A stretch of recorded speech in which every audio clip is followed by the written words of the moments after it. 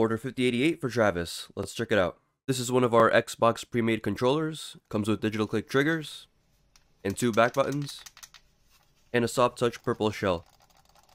This isn't just any kind of cheap plastic, this is high quality soft touch. Feels super nice on your hands, especially if you play long sessions.